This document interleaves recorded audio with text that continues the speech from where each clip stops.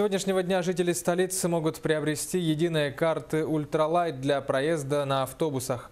Напомню, с 1 декабря в Якутске начинает действовать дифференцированная система оплаты на маршрутках.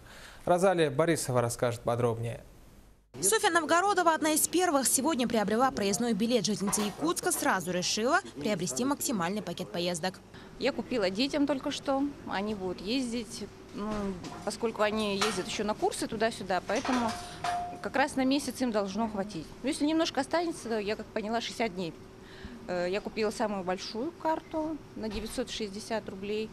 Но насчет использования не знаю, а оплачивать и покупать проездной билет удобнее.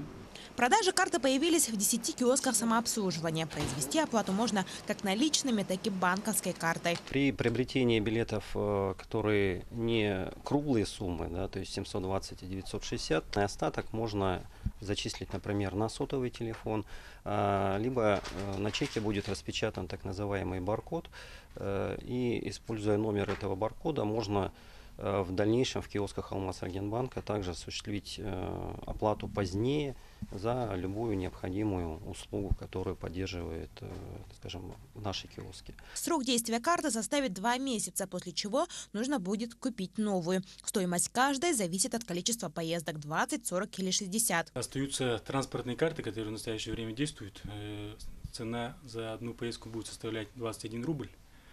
Э, Во-вторых, за наличный расчет остается 25 рублей за одну поездку.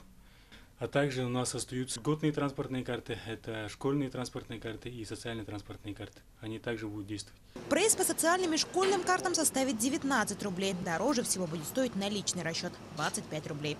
Розалия Борисова, Петр Матвеев, МКСХ, Якутск.